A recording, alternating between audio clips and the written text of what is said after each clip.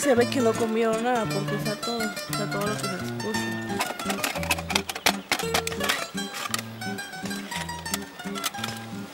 Probablemente es por la temporada, como es época de sequía, y ellos este, buscan mejores condiciones donde puedan encontrar alimento.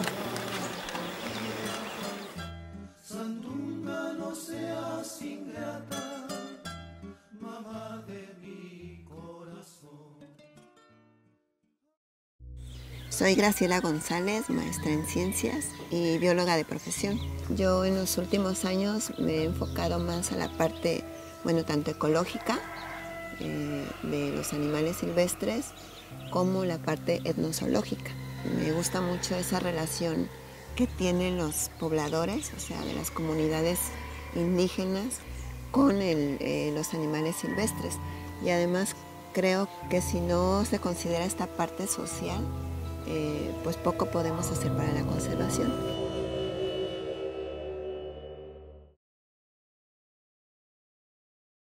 Ahora sí que empezamos desde eh, el CIDIR, eh, desde el laboratorio, nuestro escritorio. Nos hacemos las preguntas que queremos contestar, cuáles van a ser nuestros objetivos y ubicamos el sitio en un mapa la maestra Graciela González forma parte del Centro Interdisciplinario de Investigación para el Desarrollo Integral Regional, CIDIR, en Oaxaca, e investiga la fauna silvestre y su interacción con las comunidades de la Sierra Oaxaqueña.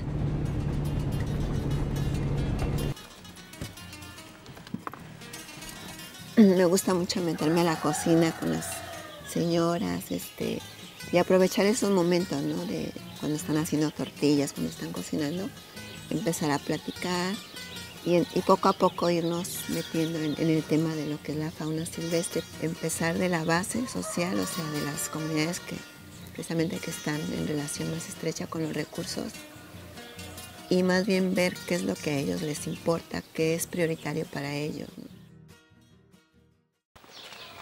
jóvenes estudiantes de licenciatura y posgrado conforman el equipo de expedición. Soy originaria de la comunidad de San Miguel Manialtepec, soy estudiante de la carrera de biología. Actualmente me encuentro realizando mi tesis en el CIDIR Unidad Oaxaca. Lo que nos interesa conocer es eh, los patrones de abundancia, riqueza y composición de, la, de los mamíferos en Oaxaca particularmente. Mi línea de investigación es con mamíferos de Oaxaca, pero trabajo específicamente con mamíferos medianos y grandes. Los expedicionarios se dirigen a la comunidad de San Miguel Maninaltepec, en la Chinantla Alta, que pertenece a la región chinanteca de la Sierra Norte de Oaxaca. Normalmente eh, la primera salida de, a campo es el acercamiento con las comunidades, con las autoridades de la comunidad. Todo el pueblo hablan lo que es el dialecto, lo que es el chinanteco.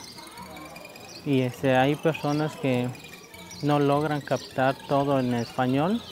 Yo estoy como traductor, yo les hablo en chinanteco y yo este, ya de ahí este, les, les comento a las personas de las dependencias qué es lo que ellos quieren decir. Le pedí que, pues, que hablara con las autoridades para ver si, si estaban interesados en que vinieron estas personas y creo que se mencionó en la asamblea, ¿no? Generalmente ellos eh, nos asignan guías. No podemos salir eh, ahora sí que a los bosques o a las montañas sin alguien que conozca. Ayudo a ellos a, a llevarlos en, en lugares que, que se puede hacer los monitoreos esta provincia es muy importante por el alto grado de endemismo que presenta tanto en plantas como en animales. Esta es la primera vez que se hace una exploración faunística en, en Maninaltepec.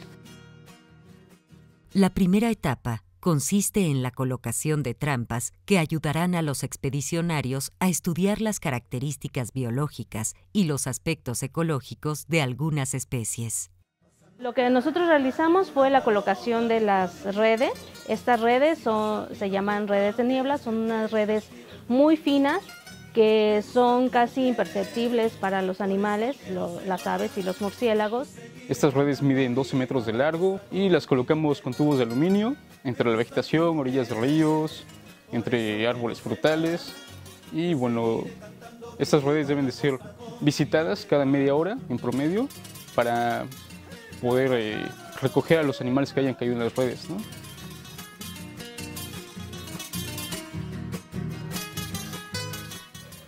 Las trampas Sherman permiten la captura de mamíferos pequeños como roedores. Generalmente se ponen de 100 a 200 trampas. Las preparamos ya en una mochila y llevamos un cebo. El cebo es eh, a base de avena y vainilla, porque es un atrayente para los ratoncitos. Buscamos sitios que estén alejados de, la gente. Eh, partimos de un punto y de ahí eh, eh, contamos metros, en este caso las trampas las colocamos de manera alterna a 5 metros cada una. Entonces colocamos una trampa aquí, la segunda trampa la colocamos de este lado de la vereda o puede ser también dentro del bosque, ¿no? dentro de la selva.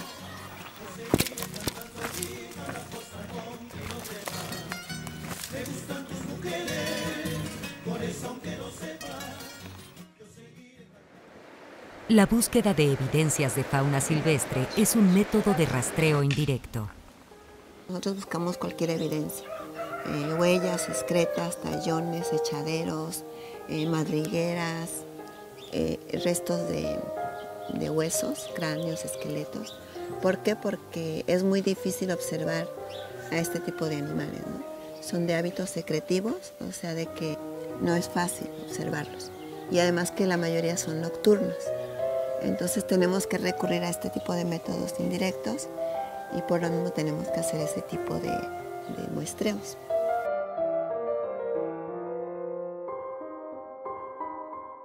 Las fototrampas permiten tener imágenes de animales difíciles de observar.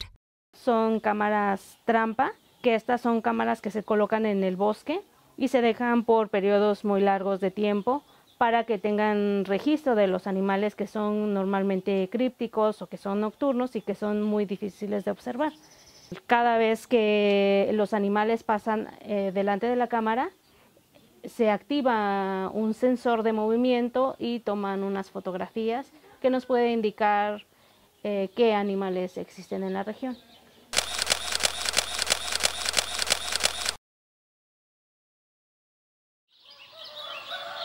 Al amanecer, los expedicionarios inician con una caminata en busca de rastros indirectos.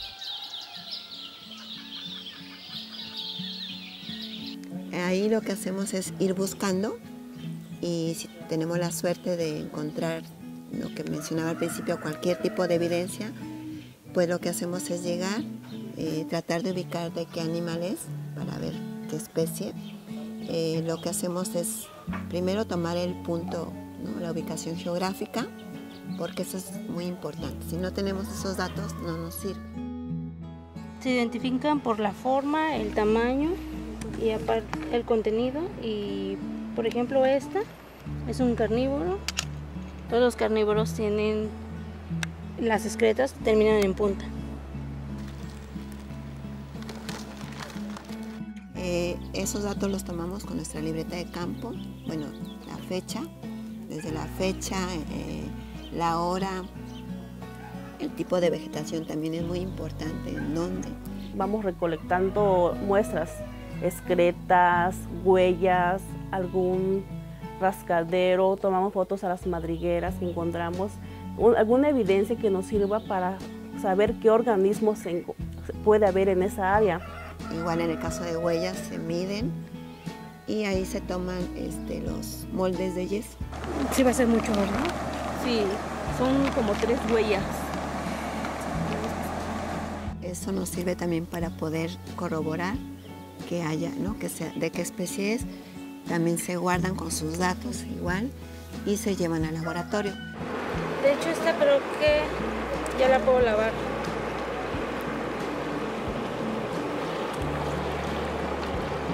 para que veas la huella. Las nutrias tienen cinco dedos marcados. Los expedicionarios regresan a la zona de trampas para iniciar el estudio de los animales capturados. Eh, a veces pueden pasar días en que tengamos ceros, cero, cero muestreos, cero, cero individuos y pues eso es lo que tenemos, con lo que tenemos que lidiar, ¿no? Y como que estar conscientes de eso. Por eso eh, normalmente para ese tipo de, para eh, fauna silvestre y tanto en este caso mamíferos se muestrean de cinco noches trampa, ¿no? De cinco a seis a siete, ocho, dependiendo, ¿no? Este, para tratar de reducir este, este error. Aquí como lo que queremos ver es riqueza, pues entre más trampas pongamos, es mucho mejor. Aquí se ve que no comieron nada porque está todo, está todo lo que se les puso.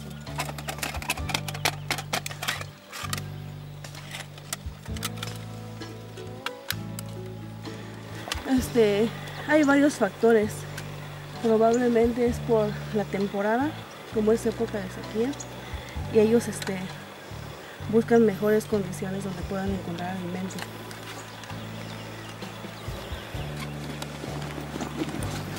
Esos, ahora sí que ceros, no nos tienen que desanimar, si no tenemos, como sabemos que nos quedan noches, no este, pues regresar y ¿no? con la ahora sí que con el mismo ánimo y entusiasmo, este regresar y esperar que haya, ¿no? que caigan individuos.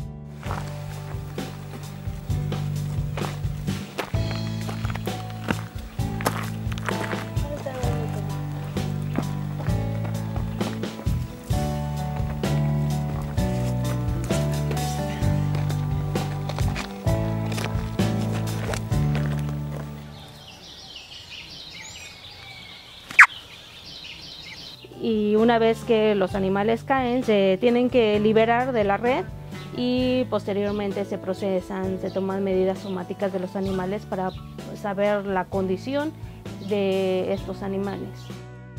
Para aves eh, las medidas son igual largo total, eh, largo de la cola, tarso, pico, peso y cordón alar. En cuanto a aves, eh, la lista que, que recabamos es de 35 especies lo destacable para esta zona es la presencia de al menos tres especies que son endémicas a México. Estas son eh, Pipilo albicolis, Melasonic yeneri y Caterpes mexicanos.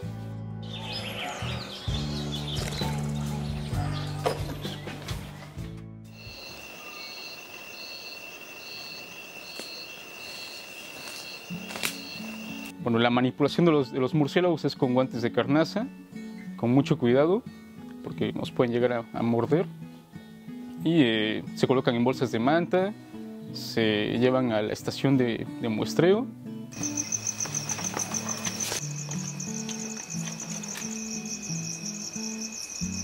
Los murciélagos son uno de los grupos más diversos en el mundo. En México tenemos cerca de 125 especies. Y bueno, lo que medimos convencionalmente es el largo total de la punta de la nariz a la punta de la cola, si es que tiene cola. Este género no tiene cola. Entonces, vemos hasta, hasta el final del cuerpo. Y tiene 73, 73 milímetros de longitud total. Después medimos la pata, 14 milímetros. Y medimos la oreja,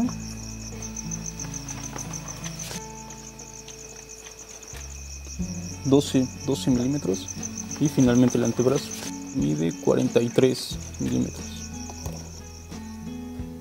Aquí en la comunidad tienen esa creencia de que los murciélagos son malos o de que los murciélagos tienen, traen enfermedades. La oportunidad de compartir con un primo que tiene este, unos 10 años y él al estar, al estar comiendo con nosotros y ver cómo sacábamos a los murciélagos, cómo los estamos este, manipulando, él estaba asombrado, por lo que ellos creen, crecen con esa idea. Y en ese momento tú ves este, cómo se entusiasman y, les, les, llama la atención querer este, estar relacionado con lo que es la biología. Encontramos tres especies, una Artibeus jamaicensis, y un Sturnera ludovici. Estas dos se alimentan de frutas. Y también encontramos mm, una especie que se llama Anura geofroyi, eh, que se alimentan de frutos y polen o néctar. Se procesan y finalmente se liberan. Y vamos a liberar a este amigo para que siga contribuyendo eh, con su función ecológica en esta selva.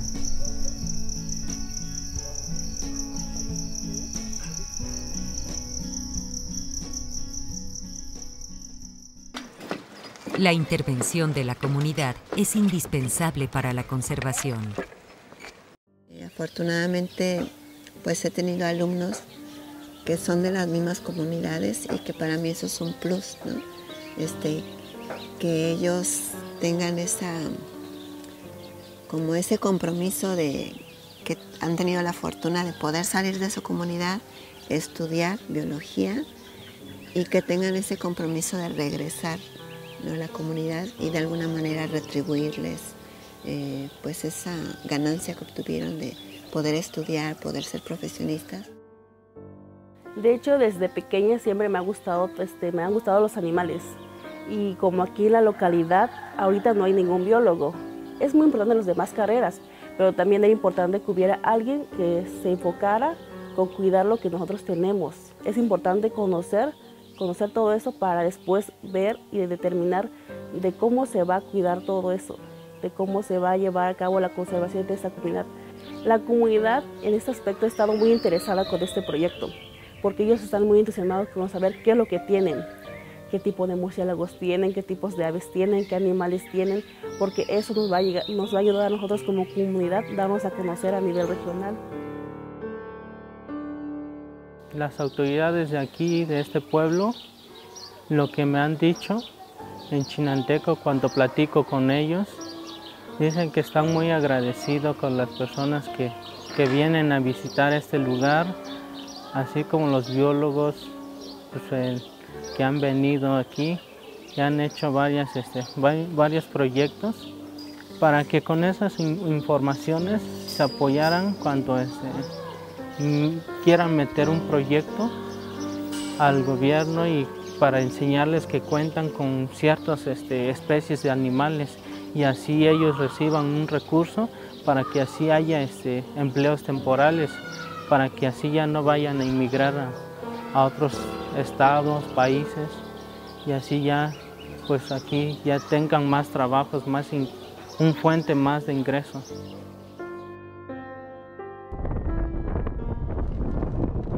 La mayoría de los animales son liberados y solo algunos son incorporados a la colección de mastozoología del CIDIR. El trabajo que hacemos básicamente eh, se compone de varias fases. ¿no? Prácticamente nosotros como investigadores no podemos hacer todos los pasos de la conservación, pero sí hacemos una, una parte importante, que es la generación del conocimiento.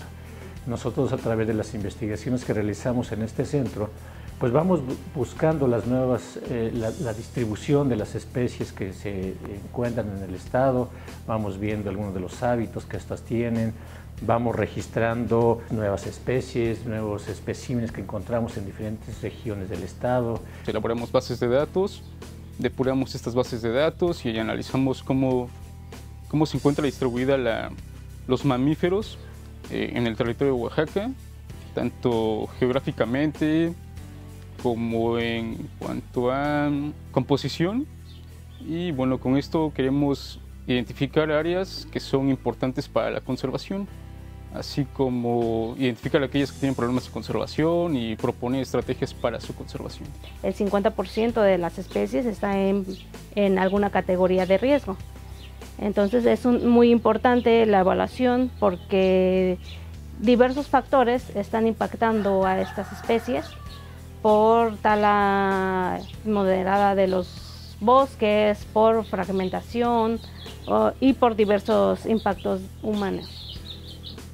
El trabajo aquí es constante, es de todos los días.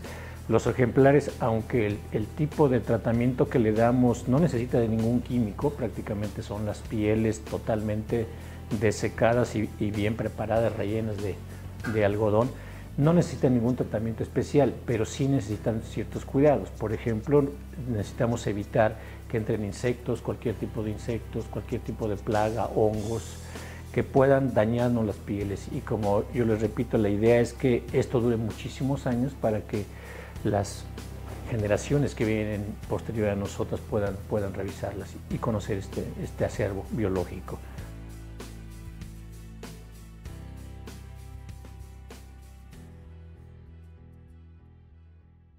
La colaboración entre la ciencia, la comunidad y el gobierno pueden asegurar la riqueza biológica de Oaxaca.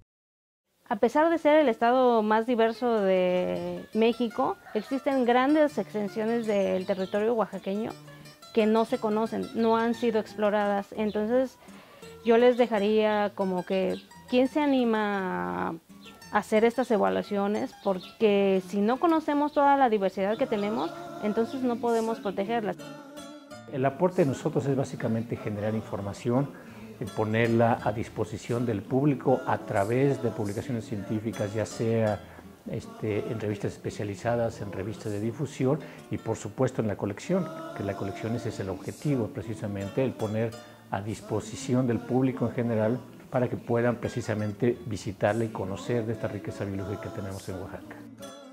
Eh, Oaxaca tiene una alta biodiversidad, es importante conocerla ¿no? y conocer su situación también para proponer buenas estrategias que, que, ayuden a, a, su preservación. Estoy muy agradecido con las dependencias como es el IPN, el que me dan la oportunidad de, de intervenir como guía, como traductor y, y, acompañarlos y tener una experiencia muy bonita.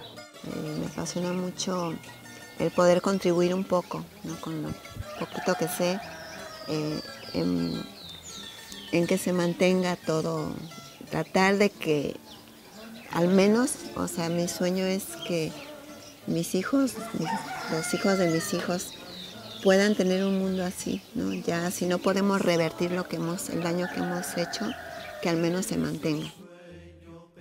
Es muy importante conservar nuestro planeta.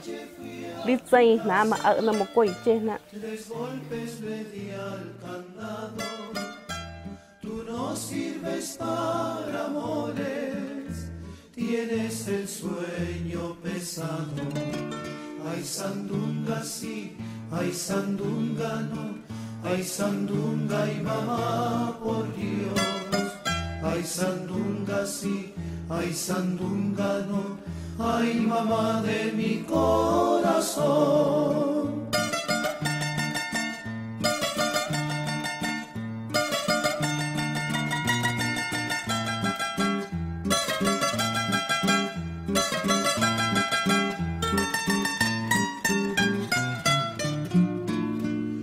trenzas causan destellos, no por negras ni sedosas